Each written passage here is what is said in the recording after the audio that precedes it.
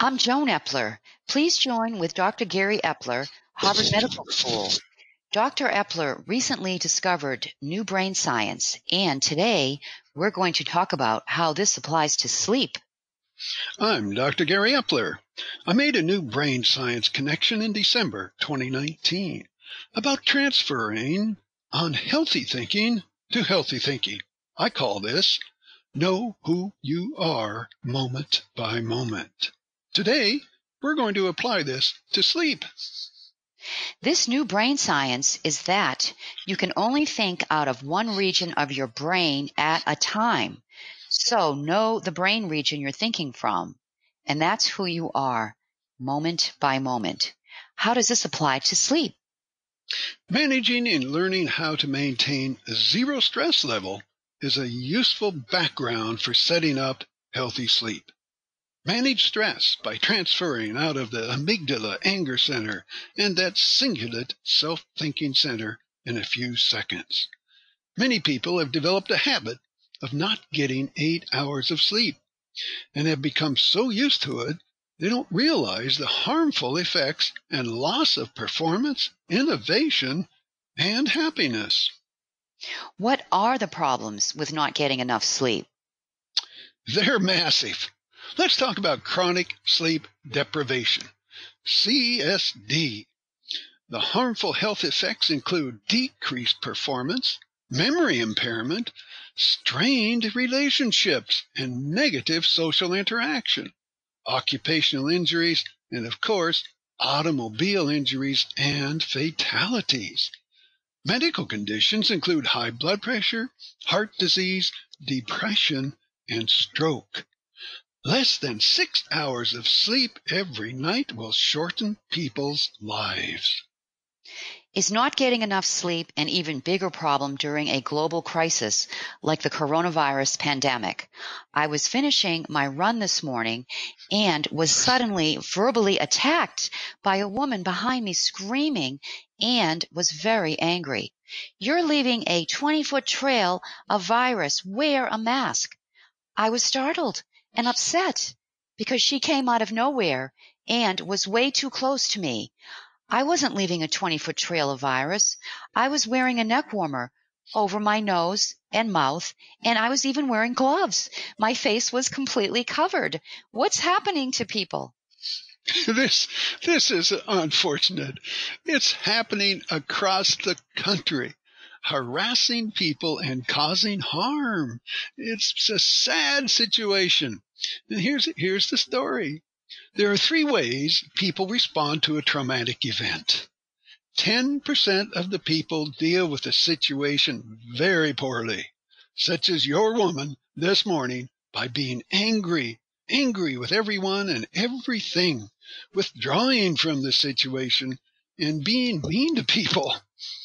80% of people respond to the situation normally. They follow the rules, be kind to people, and move on. 10% of the people are super achievers. They thrive more than any time during their lives. They rise above the situation, giving their energy and help to people, create new opportunities, and they start new businesses. The 10% angry people probably began with poor sleep habits, and crisis exacerbates the situation, decreasing performance and innovation and being more irritable and quick tempered, and as you found out, being mean to people. Be one of those 10% that thrive, or at least join up with those people because that's where the opportunity is. How do you know if you have chronic sleep deprivation? It's simple. It's simple. Joan, you do the 10 second sleep test. What's that? It's, it's real simple. Sit quietly for 10 seconds. If you fall asleep, you flunked. This is an extremely bad sign. Your brain adenosine energy is depleted. It's gone. You have none. You have no dream sleep. You've had none. You've had no two hour dream sleep for kindness, empathy, and positive people interaction.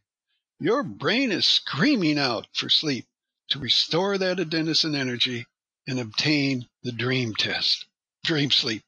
Why do we need eight hours of sleep every night? Sleep is for the brain. We used to think that uh, the body needed it, the organ systems, the muscles. It, they, they don't need any sleep. The brain needs eight hours every night. Why? There are two reasons. First, there's an energy chemical called adenosine that's used up by the brain for thinking. Each thought you have uses up a tiny amount of adenosine. At 2,000 thoughts per hour, that's 50,000 thoughts per day. That uses a lot of adenosine, and it's all gone by the evening. Eight hours of sleep will restore it. That's what's required to replace the adenosine for the next day.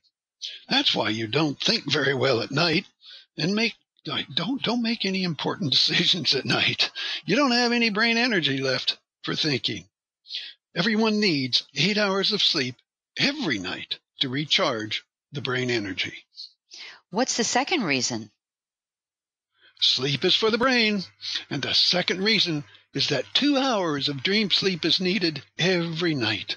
This is called REM sleep. REM for rapid eye movement sleep.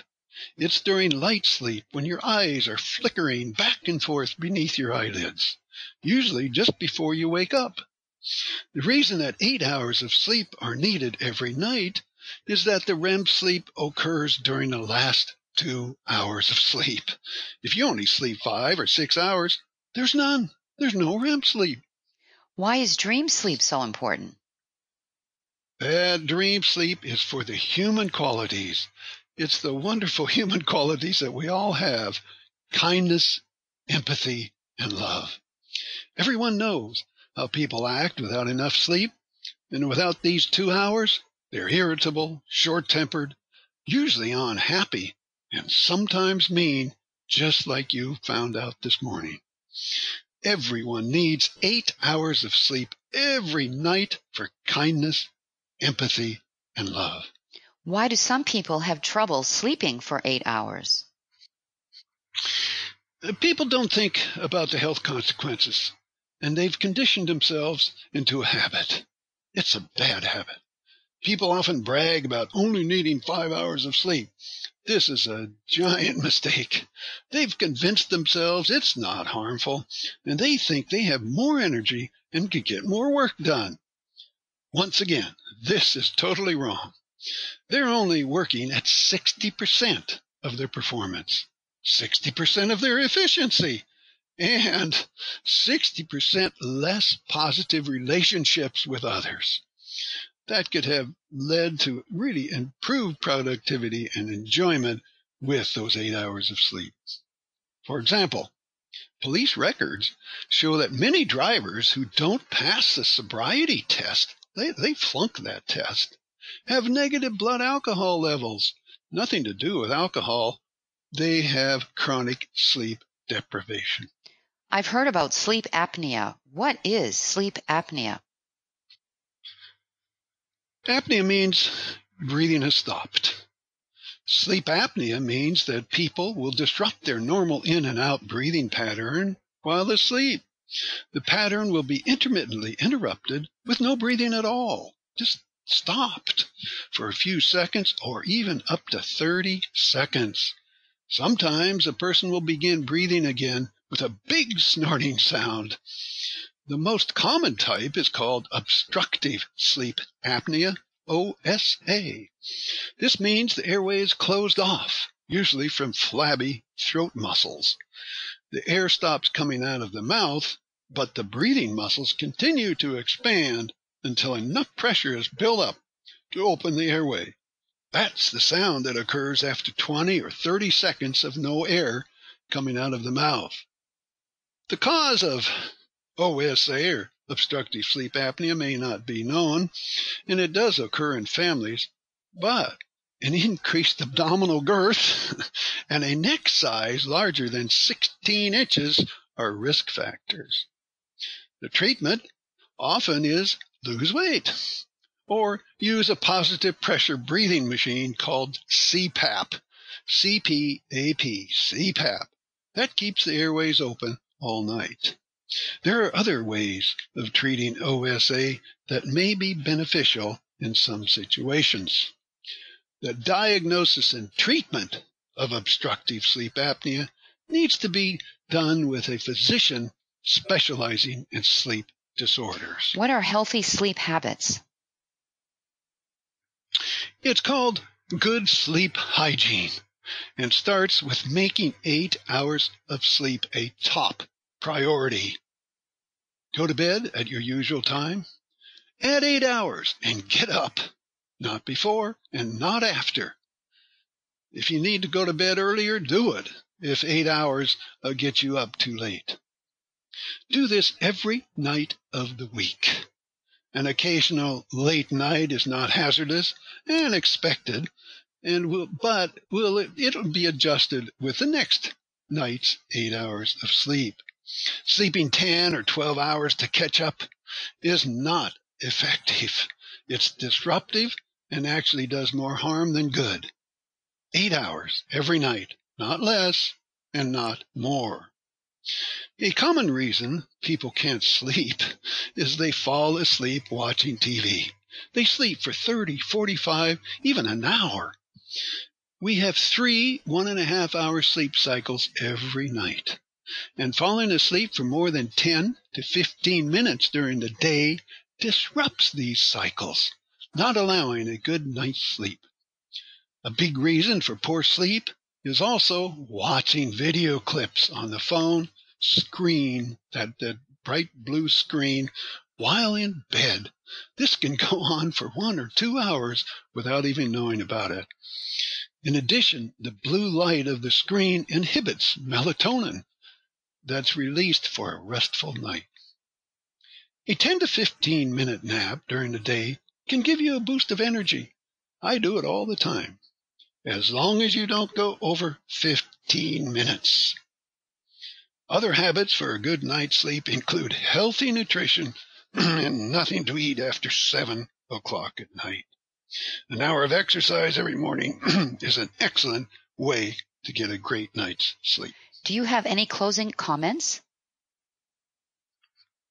Everyone needs eight hours of sleep every night. You need six hours to recharge the brain energy and two hours of dream sleep for kindness, empathy, and love. Coming soon, Dr. Gary Epler leads a class series about the new brain science, customized to your individual goals and challenges, available through Patreon. This is Joan Epler and Dr. Gary Epler closing today's segment. Next time, we'll talk about meditation. Epler